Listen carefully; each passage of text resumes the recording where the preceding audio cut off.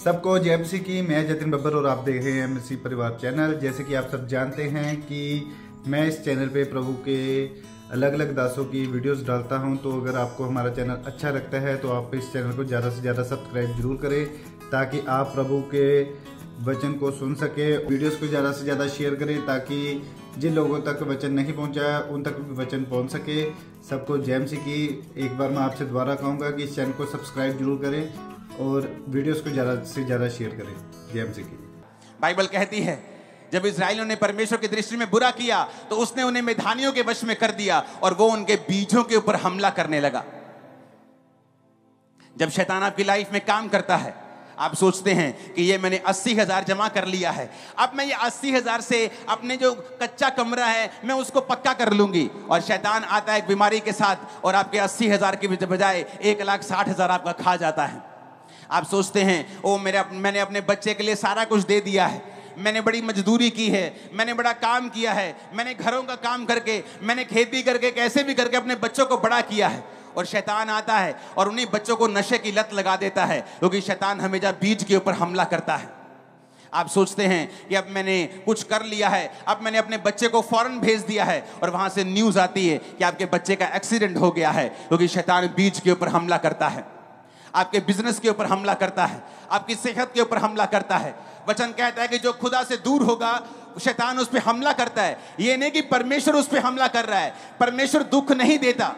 आप अपने बच्चों को दुख नहीं देते। हैं आपके बच्चे आपसे दूर भी हो जाए तो आपको दुख नहीं देते। लेकिन आप अपने बच्चों की सुरक्षा नहीं कर पाते जब बच्चे आपसे दूर होते हैं। जब आप परमेश्वर से दूर हो जाते हैं जब आप दुनिया के पाप में चले जाते हैं, व्यभिचार में चले जाते हैं, चोरियाँ करने लगते हैं, कुंडियाँ डालने लगते हैं अलग अलग प्रकार के आप गलत काम करने लगते हैं तो बाइबल में लिखा है, आप परमेश्वर की दृष्टि में आप पापी बन जाते हैं। जब आप पापी हो जाते हैं तो शैतान के पास अधिकार होता है कि वो आपके बीजों के ऊपर हमला कर सके और आपके ऊपर अटैक कर सके। लोग बोलते हैं, अगर परमेश्वर ज़िंदा है तो हॉस्पिटलों में लोग मर क्यों रहे अगर परमेश्वर ज़िंदा है तो इस इसका एक लौता इस बेटा कैसे मर गया? इसके, ये भी तीन महीने पहले शादी हुई थी, ये कैसे मर गया? परमेश्वर ने उसे नहीं मारा, शैतान ने उसे मारा है। जब हम प्रभु से दूर होंगे तो परमेश्वर की सुरक्षा फिर हमारे जीवन में काम नहीं करती। जो परम प्रधान के छाए हुए स्थान में बैठा रहेगा, वो सर्वशक्तिमान की छाया में ठिकाना पाएगा। लेकिन वही ठिकाना पाएगा, जो उसके छाए हुए स्थान में बैठा होगा। अगर हम परमेश्वर से दूर है तो शैतान हमारे बीजों के ऊपर हमला करता है। वो नहीं चाहता हमारे बच्चे नशों से आज़ाद रहें। वो नहीं चाहता हम बीमारियों से आज़ाद रहें। वो ये चाहता है कि हमेशा हमारे फाइनेंस के ऊपर अटैक होता ही रहे। हम कभी घर ना बनाने पाए ब्लेसिंग ना लेने पाए, हमारे बच्चे कभी आज़ाद ना होने पाए, हम बीमारियों से रहित होने, वो कभी नहीं चाहता शैतान। वो चाहता है कि हम फंसे रहें। और बाइबल कहती है, परमेश्वर, जो प्रेमी परमेश्वर है जो पिता है, जो आपकी तरह जो, जब एक पिता अपने बच्चे के लिए जान तक देने के लिए आ जाता है, वो परमेश्वर आपके छुटकारे का इंतज़ाम करता रहता है और वो आपको छुटकारा देना चाहता है। वो आपके बीजों को नष्ट होने से बचाना चाहता है। जिस तरह गिदौन को उसने चुना, पुराने समय में उसने मूसा को चुना। मूसा पूरी इसराइली कौम को 20 लाख के करीब लोग थे, पूरी इजरायली कौम को चमत्कारों के द्वारा उन्हें वापस ले आया। परमेश्वर ने गिदौन को चुना। वचन कहता है कि जब परमेश्वर ने गिदौन को चुना, तब भी इसराइली दुखी थे, क्योंकि वो परमेश्वर से दूर हो चुके थे। परमेश्वर से दूर थे तो शैतान ने बीजों पे हमला किया और इसराइलियों ने फिर परमेश्वर की दुहाई दी। जब इसराइली परमेश्वर की दुहाई देने लगे कि, पिता, हमें बचा, हमने पाप किया है, आगे से पाप नहीं करेंगे, आगे से कोई गुनाह नहीं करेंगे। बाइबल कहती परमेश्वर ने गिदौन से बात की। परमेश्वर ने कहा, गिदौन, आठ आयत में लिखा यहोवा ने इसराइलियों के पास एक नबी भेजा। जिसने कहा इसराइल का परमेश्वर यहोवा यो कहता है कि मैं तुमको मिस्र से ले आया और दास्तव के घर से निकाल ले आया।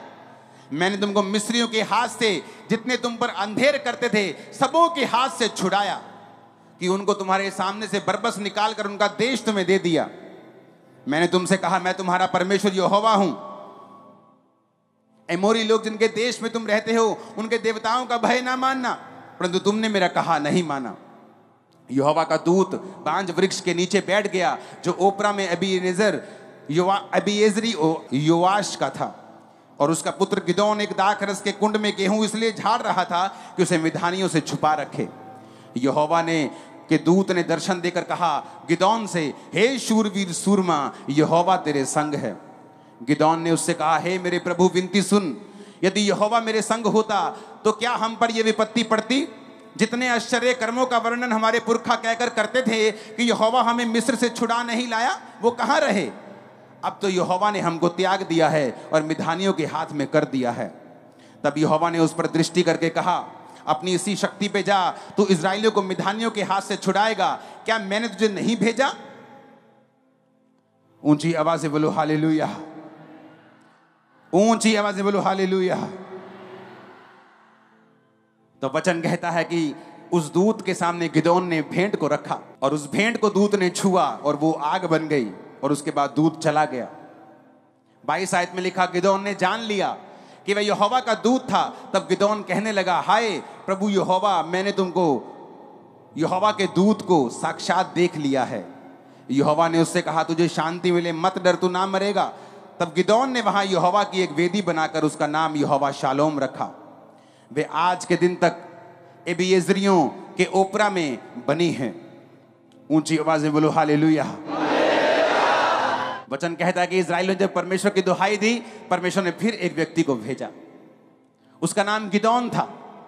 जब परमेश्वर ने कहा, गिदौन, हे शूरवीर सुरमा, यहोवा तेरे संग है, कि तू जाकर अब इसराइलियों को बट, मिधानियों के हाथ से छुड़ाएगा। और उसने पता क्या कहा? उसने कहा, मेरा कुल, मेरे सब परिवार में सबसे कंगाल है। कहता, मैं सबसे छोटा हूँ। हालेलुया। और उसने कहा कि, मैं छोटा तो हूँ, कि मेरा परिवार, कहता, सब मेरे कुलों में से सबसे छोटा है। साडा मतलब साडा परिवार जरा सारे रिश्तेदार चो सब तो गरीब है कहना और कहता, मैं अपने परिवार में सबसे छोटा हूँ। कहता, मैं ऐसे कैसे कर सकता हूँ? वचन कहता है, आपको लगता है कि मैं गरीब हूँ, मैं कमज़ोर हूँ, क्या परमेश्वर मेरी आवाज़ को सुनेंगे? मेरे पास कोई पैसा नहीं है, क्या मेरी आवाज़ सुनी जाएगी? आप जहाँ भी जिस कोने में बैठे हों। वचन ये बात कहता है, वचन कहता है कि मैंने जगत के निर्बलों को चुन लिया, मैंने जगत के तुच्छों को चुन लिया, जिनको लोगों ने रिजेक्ट कर दिया जात पात के नाम के ऊपर। गरीबी के नाम के ऊपर, रंग के नाम के ऊपर, कद के नाम के ऊपर, उसने कहा, जो तुच्छ हैं, मैंने उन्हें चुन लिया और उन्हें इतना बड़ा किया कि जो अपने आप को कुछ समझते हैं समझते हैं, उन्हें शर्मिंदा करने के लिए। परमेश्वर ने कहा, क्या तुम नहीं जानते परमेश्वर ने जगत के निर्बलों को, तुच्छों को, बीमारों को, गरीबों को चुन लिया? उसने आपको चुन लिया आज। आप छुटकारा देंगे भी अपने घराने में और आज लेकर भी खुदा से जाएँगे यीशु मसीह के नाम में। समय समय के ऊपर परमेश्वर अपने अपने पिता वाला प्रेम हम पर ज़ाहिर करता आया है। ये परमेश्वर की आत्मिक जीवन जो है, ये मसीहियत आप कह सकते हो, आप यहोवा पिता का प्रेम कह सकते हो, ये अभी ज़ाहिर नहीं हुआ 2000 साल पहले, ये पहले से चलता आ रहा है। जब जब इसराइलियों ने दुहाई दी, परमेश्वर ने अपने लोगों को खड़ा किया है। उसने मूसा को खड़ा किया, उसने गिदौन को खड़ा किया। जब जब लोगों ने मन फिरा लिया कि ठीक है, आज से हम ये काम नहीं करेंगे आज से गुनाह नहीं करेंगे, आज से परमेश्वर की ओर मुड़ेंगे, आज से व्यभिचार नहीं करेंगे, आज से गलती नहीं करेंगे, आज से पाप नहीं करेंगे, आज से शराब नहीं, नशे नहीं पिएँगे आज से परमेश्वर के पीछे चलेंगे। तौबा कर ली, बाइबल कहती है। तो वचन कहता है कि वो किसी भी टाइम के हों, वो यीशु मसीह के जन्म के पंद्रह सौ तिरानवे साल पहले हो, वो यीशु मसीह के जन्म के ग्यारह सौ साल पहले की दौन के टाइम में हो, या वो आज के समय में हो, परमेश्वर ने छुटकारा देगा। ये यीशु मसीह का वायदा है। ये शाया इकसठ उसकी एक से तीन आयत के बारे में, यीशु मसीह के बारे में लिखा है। वो प्रेमी परमेश्वर है। वो पुराने समय में भी प्रेमी परमेश्वर था। वो 1500 साल, यीशु मसीह के जन्म के पहले भी प्रेमी था। यीशु मसीह के जन्म के बाद भी वो प्रेमी परमेश्वर है। बाइबल कहती है यीशु मसीह के बारे में ये शाया इकसठ, उसकी एक से तीन आयत। ये शाया की पुस्तक जो यीशु मसीह के जन्म के 700 साल पहले लिखी गई, उस नबी ने परमेश्वर के बारे में लिखा। उसने कहा, प्रभु, यहोवा का आत्मा मुझ पे है, क्योंकि यहोवा ने सुसमाचार सुनाने के लिए मेरा अभिषेक किया। मुझे इसलिए भेजा कि मैं खेदित मन के लोगों को शांति दूँ, बंदियों के लिए स्वतंत्रता का और कैदियों के लिए छुटकारे का प्रचार करूँ। प्रभु यीशु मसीह ने कहा, जिस जिस समय इसराइली दुहाई देते थे और वो राजा की बड़ी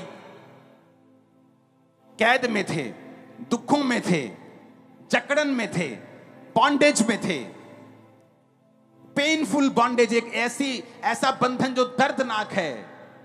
तो परमेश्वर ने कहा, मैंने मूसा को भेजा था। जब मिधानियों के वश में तुम पड़ गए और तुम्हारे बीजों को नाश किया जाने लगा तो मैंने गिदौन को भेजा था। लेकिन वचन कहता है कि अंत के दिनों में वो सिर्फ़ इसराइलियों के छुटकारे के लिए काम नहीं करेगा, वो पूरे जगत के छुटकारे के लिए काम करेगा। इसलिए वचन कहता है कि प्रभु यीशु मसीह इसलिए जन्म उसने लिया कि अब्राहम की आशीष अन्य जातियों तक पहुँचे। क्या थी अब्राहम की आशीष? कि कोई दुश्मन तुम पे कब्जा नहीं कर सकता। कोई शैतान तुम पे कब्जा नहीं कर सकता। तुम परमेश्वर के लोग होंगे, तुम सर्वप्रथम होगे, तुम सिर होगे, तुम पूछ नहीं होगे। अब परमेश्वर ने देखा वो समय आ चुका है। कि अब ये छुटकारा सिर्फ़ इसराइली लोगों तक नहीं रहे, ये छुटकारा पूरे जगत तक जाए। और वचन कहता है, इसीलिए प्रभु यीशु मसीह ने जन्म लिया। परमेश्वर पहले भी थे, लेकिन क्यों प्रभु यीशु मसीह ने जन्म लिया? एक नया धर्म बनाने के लिए नहीं, क्योंकि वो छुटकारा जो थोड़े लोगों के पास था, वो छुटकारा जो सिर्फ़ इसराइली लोगों को मिलता था जब वो परमेश्वर की दुहाई देते थे, अब वो छुटकारा परमेश्वर ने कहा, मैं जगत के हर एक कोने तक, भजन संहिता में लिखा है, प्रकाशित वाक्य में लिखा है अलग अलग जगह बाइबल में पढ़ेंगे कि स्वर्ग में एक बड़ी भीड़, खजूर की डालियों को लिए हुए वाइट कपड़ों को डाले हुए, हर एक कुल धरती की, हर एक जाति, हर एक कुल में से, हर एक लोगों में से एक बड़ी भीड़ परमेश्वर के सामने होगी। यानी परमेश्वर बहुत से लोगों को छुटकारा देगा, जो कोई उसके नाम के ऊपर विश्वास करेगा, बहुत से लोगों को वो छुटकारा देगा। अब परमेश्वर ने ठान लिया कि अब ये छुटकारा सिर्फ़ इसराइलियों के पास नहीं होगा। अब मैं जगत के हर उस व्यक्ति को छुटकारा दूँगा। वो किसी भी धर्म, जात, रंग, रूप का क्यों ना हो? जो कोई प्रभु यीशु मसीह के ऊपर विश्वास करेगा, मैं उन्हें छुटकारा दूँगा। मैं उनके बीजों को बचाऊँगा। शैतान उनके बच्चों को नाश नहीं कर पाएगा। शैतान उनके शरीरों को नाश नहीं कर पाएगा। शैतान उनके जीवन को नाश नहीं कर पाएगा। उनके फाइनेंस को, उनके खेतों को नाश नहीं कर पाएगा। ये परमेश्वर का मकसद था। तो इसलिए वचन कहता है, यीशु मसीह ने कहा, यहोवा का आत्मा मुझ पे है। किसके लिए? धर्म परिवर्तन करवाने के लिए, तुम्हारे पैसे छीनने के लिए। आप जितने पैसे यहाँ देंगे देंगे ना आज, उससे ज़्यादा इस मीटिंग का खर्चा होगा आज।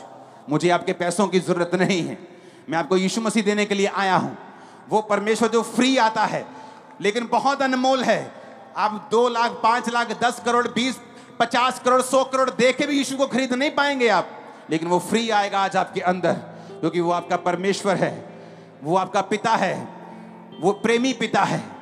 जिस तरह एक छोटी गिलहरी, एक छोटी चिड़िया अपने अंडों के लिए जान दे देती है, यीशु मसीह ने जान दे के बताया है कि वो आपसे प्रेम करता है।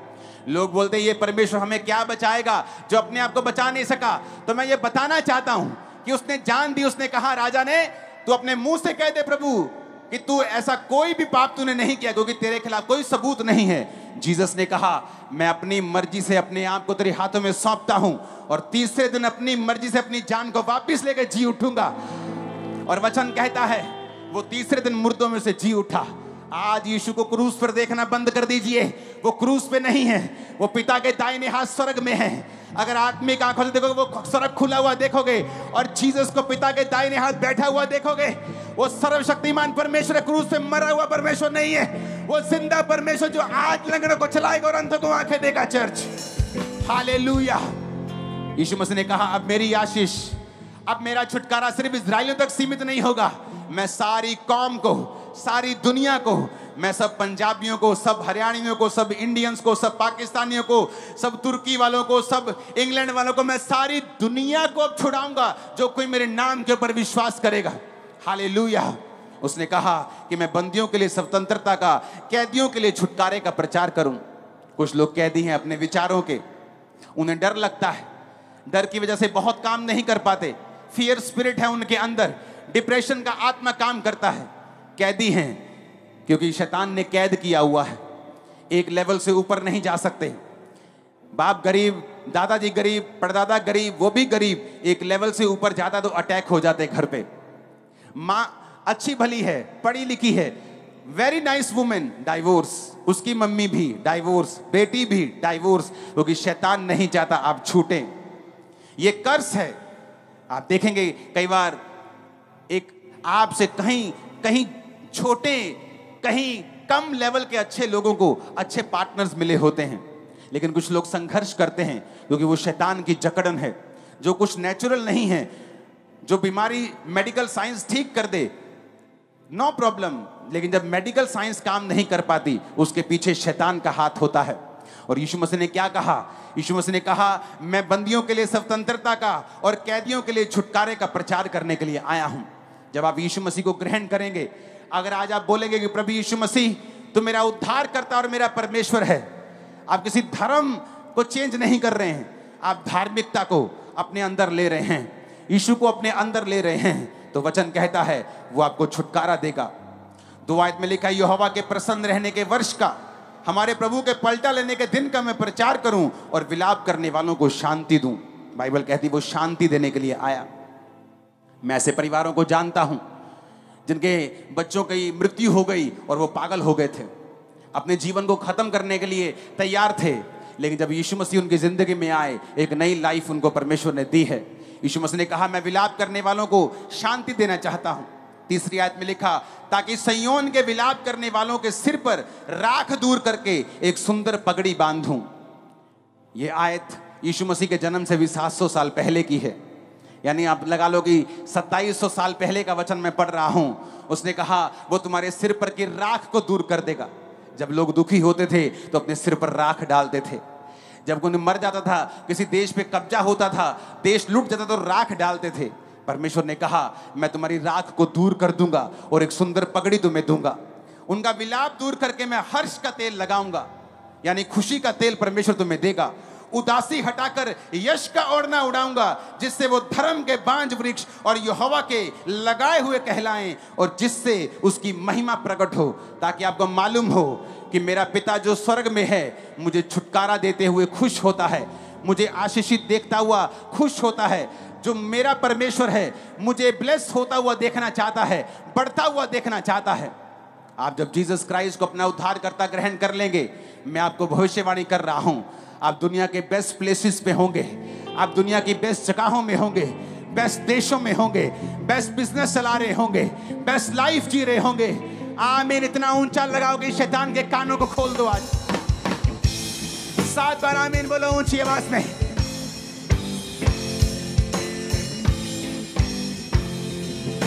हालेलुया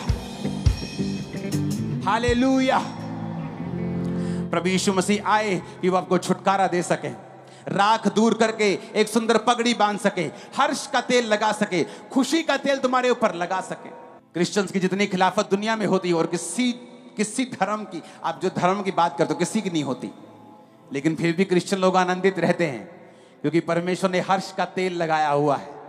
जिसको खुदा हर्ष का तेल लगा दे, उसे कोई इंसान पहुँच नहीं सकता।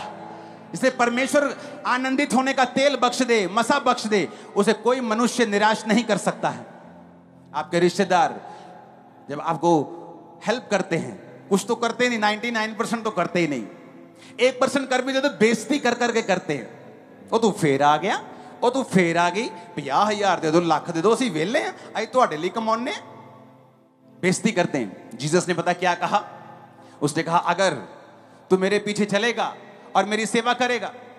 उसकी सेवा बहुत मुश्किल नहीं है। यीशु के बारे में प्रचार करना, पवित्रताई में जीवन बिताना, नशों से दूर रहना, गंदगी से दूर रहना।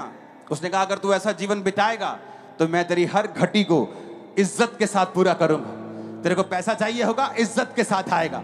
आशीष चाहिए होगी, इज़्ज़त के साथ आएगी। तो अपने घर में इज़्ज़त पाएगी तो अपने काम में बरकत पाएगा। तो जहाँ जाएगी, इज़्ज़त पाएगी, जहाँ जाएगा, इज़्ज़त पाएगा। रिसीव करो उस इज़्ज़त को अपनी आत्मा में, यीशु के नाम में। हालेलुया। हालेलुया। यीशु मसीह के जन्म के बाद उसके उसके वचन में लिखा है, तू एक शादी कर सकता है। यीशु मसीह ने औरतों की इज़्ज़त को रिस्टोर किया, क्योंकि औरत थी, हवा थी जो पाप के पहली भागी बनी। तो परमेश्वर ने हवा को, औरत को श्रापित किया, आदम को श्रापित किया, धरती को श्रापित किया। औरत श्रापित रही कितने साल? आदम श्रापित रहा कितने साल? लेकिन वचन कहता है कि वो प्रेमी परमेश्वर है और वो फिर अपने बच्चों को छुड़ाना भी चाहता है। और परमेश्वर ने बाइबल कहती है, फिर एक औरत को ही चुना। उसने एक ऐसी औरत को चुना जो सचमुच की कुंवारी थी, नाम की कुंवारी नहीं थी। सचमुच की कुंवारी को चुना और पवित्र आत्मा उस पर उतरा और बाइबल कहती है, उसने यीशु को जन्म दिया। जब यीशु को जन्म दिया तो उसने, जब परमेश्वर उसके पेट में थे तो उसने कहा, परमेश्वर ने अपनी दासी की दीनता के पर दृष्टि की है। वो आपके स्टेप्स को ऑनर करता है। जब यीशु मसीह मुर्दों में से जी उठे तो पहली प्रचारक औरत थी। उसको जन्म देने वाली औरत थी। यीशु मसीह का साथ देने वाली फाइनेंशियली मिनिस्ट्रीज में ज़्यादातर 90 परसेंट औरतें थी। परमेश्वर ने औरतों की इज़्ज़त को रिस्टोर किया, फिर से उसे ऊँचा किया। आदमी को श्रापों से फिर से आज़ाद किया। अब तुम माथे की पसीने की रोटी नहीं खाओगे जब तुम यीशु मसीह के पास आ जाओगे। वो तुम्हें दुखों की रोटी नहीं देगा, वो तुम्हें आशीषित करेगा।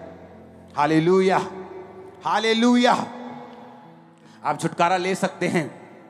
वो व्यक्ति जो यीशु को नहीं जानते, आज यीशु मसीह को ग्रहण करेंगे तो वो छुटकारे को ले सकते हैं। छुटकारे का प्रोसेस आपकी लाइफ में शुरू हो जाता है। जिस तरह मेरी लाइफ में शुरू हुआ। एकदम से पहले दिन तो कुछ नहीं हुआ, लेकिन एक झटका लगा और मुझे मालूम होगा कि यीशु मसीह कुछ कर सकते हैं, ये तो बात पक्की है। इतना तो एक्सपीरियंस मुझे हो गया था। वचन क्या कहता है? मैंने, जो पहला वचन पढ़ा था, लेवी के घराने के पुरुष ने लेवी वंश की स्त्री से विवाह किया। लेवी घराना था, लेवी घराने का पुरुष था, लेवी घराने की ही स्त्री से, यानी अपने कुल में ही उसने शादी की। कौन सा समय चल रहा था? दुखों का समय। वो समय जहाँ पे राजा अनाउंस, अनाउंसमेंट पे अनाउंसमेंट गवर्नमेंट कर रही थी कि जितने इसराइलियों के बच्चे होंगे बेटे बेटे सब मार दिए जाए। दुखी कर दिया था उसको। दुखों में गारे की ईंटों की, उनको मजदूरी करा करा के उनको पेनफुल लाइफ उनकी कर दी थी। लेकिन अभी भी एक व्यक्ति परमेश्वर के वचन पे खड़ा हुआ है। कहता, मैं अपने कुल को साफ़ रहने दूँगा। मैं ऐसी शादी नहीं करूँगा जो परमेश्वर के वचन के खिलाफ हो। आज जब एक व्यक्ति यीशु मसीह से कुछ पाने में देरी होती है तो आप क्या सोचते हैं? उस प्रेशर में भी क्या परमेश्वर के साथ अड़े हुए और खड़े हुए हैं? बाइबल कहती है, छुटकारा उन लोगों ने पाया है जिन्होंने यीशु को कबूल किया है। और फिर जब दोबारा छुटकारे की ज़रूरत पड़ती है मसीह होने के बाद फिर उन्हीं लोगों ने पाया है जो उसके वचन पे खड़े रहते हैं, अड़े रहते हैं। जो ये नहीं कहते कि बहुत दुखी हो गए, लिया शराब लेके आ। डैनियल ने नहीं कहा कि लाओ जो लेके आना है, मुझे दो खाने के लिए। अब कौन सा परमेश्वर हमारे साथ हम बंधुआई में चले गए? लेकिन डैनियल ने कहा, मैं वो नहीं खाऊँगा। चाहे मैं बंधुआई में हूँ, मैं वो नहीं खाऊँगा जो बाइबल में मना किया हुआ है। मैं आपको बता रहा हूँ, यीशु वचन भी है। आप क्रिश्चियन हैं, उसके वचन पे खड़े रहें, अड़े रहें, क्योंकि छुटकारा आपके अंदर से पैदा होगा यीशु के नाम। आप क्रिश्चियन है ना चर्च जाना भूले नहीं नहीं काम होता तब भी जाएँ। फास्टिंग रखें, प्रेयर करें, शैतान को शर्मिंदा करें। एक दिन आएगा जब छुटकारा आपके पास होगा और आपके पास से दूसरों के पास भी होगा। क्योंकि नए लोगों के लिए भी छुटकारा है और उन लोगों के लिए भी है जो यीशु को पहले से जानते हैं। डैनियल ने प्रेशर में ये नहीं कहा, और लेके आओ जो लेके आना है। मैं शराब भी पीऊँगा, दाखरस भी पीऊँगा, वो मीट भी खाऊँगा जो बाइबल में मना किए हुए हैं। लेके आओ, परमेश्वर कौन सा हमारे साथ है? हमारे साथ होता तो हम बंधुआई में क्यों आते? वचन कहता है, जब यूसुफ को जेल में डाल दिया गया, उस जेल में भी उसने परमेश्वर को पुकारना नहीं छोड़ा। वचन कहता है कि सांकलों के साथ बंधे हुए भी उसने यहोवा की महिमा की और यहोवा के वचन को छोड़ा नहीं।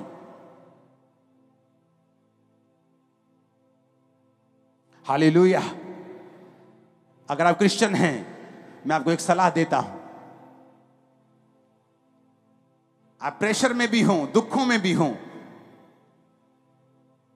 इस वचन को छोड़ना नहीं। एक बड़ा छुटकारा एंटर होने वाला तुम्हारी लाइफ।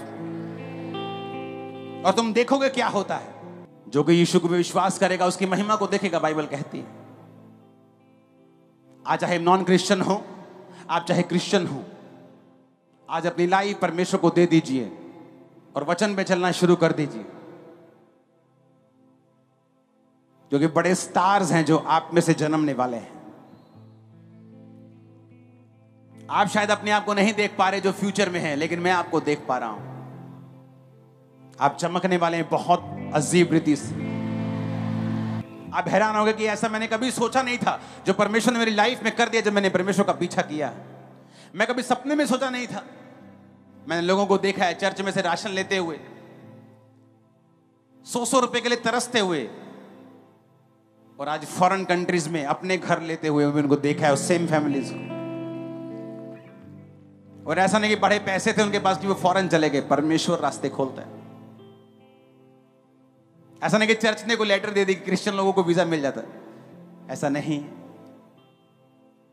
जीसस की कृपा से मिलता है। तुम्हारी फ़ाइल चाहे कमज़ोर भी हो। तैयार हो जीसस को अपनी लाइफ देने के लिए? मैंने कहा, पीछे करने के लिए जीसस का तैयार हो।